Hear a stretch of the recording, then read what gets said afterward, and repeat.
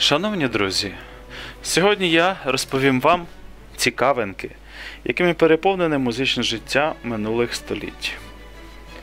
І почуєте ви сьогодні про митця, який жив 200 років тому.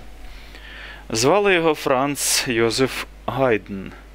І хоча ми б мусили його називати на ім'я Франц, однак сам себе він ніколи так не називав намагаючись підписувати свої твори просто Йозеф Гайден.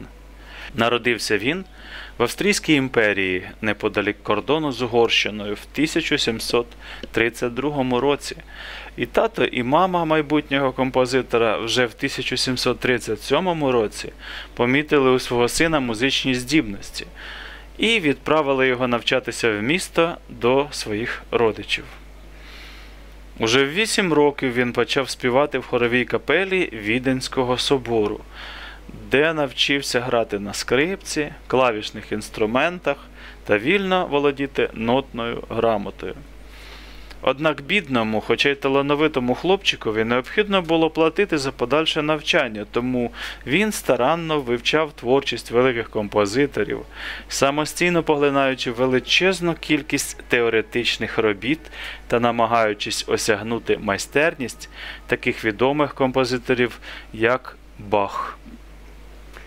Щоб прожити і мати можливість займатися улюбленою справою, юний композитор працював в невеликих оркестрах при дворі знатних вельмож. Така робота давала йому не тільки заробіток, а й можливість реалізовувати написані ним же музичні твори. Один з таких творів Гайдна носить назву Прощальна симфонія. Написана вона в 1772 році. В той час композитор працював у багатого угорського князя на прізвище Естергазі. Примхи князя нерідко змушували Йозефа поступатися творчою свободою. Однак композитор ніколи не здавався. Сучасник Гайдна так описує історію створення цієї симфонії.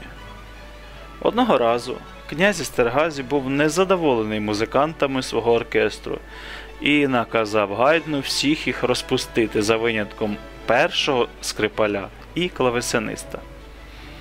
Гайн був змушений підкорюватись, однак був дуже засмучений тим, що позбавляє багатьох людей засобів до існування, а також тим, що сам втрачає досвідчених музикантів. Він вирішив скласти інструментальну фугу і запросив князя Естергазі послухати її виконання в неділю після меси. Князь погодився. Після оркестрового розділу, який виконали разом всі оркестранти, як того вимагає форма фуги, талановитий маестро ввів свого роду коду з послідовністю пауз, розподілених таким чином, що інструменти перестають грати один за одним.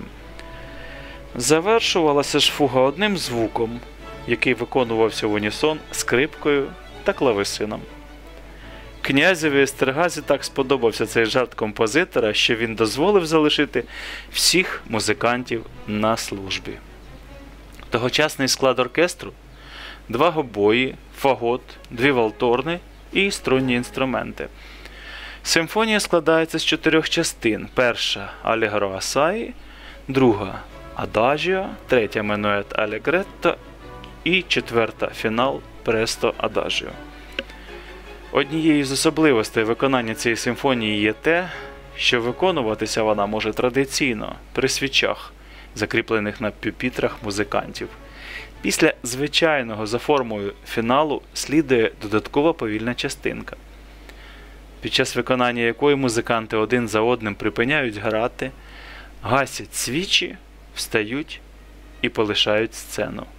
В певний час сцену залишає і диригент майже в повній темноті, коли тільки два слабких вогника освітлюють сцену, симфонію дограють і два останніх музиканти, які після завершення своїх нотних партій також гасять свічі і йдуть слідом за іншими. Майстри минулого вміли таки пожартувати.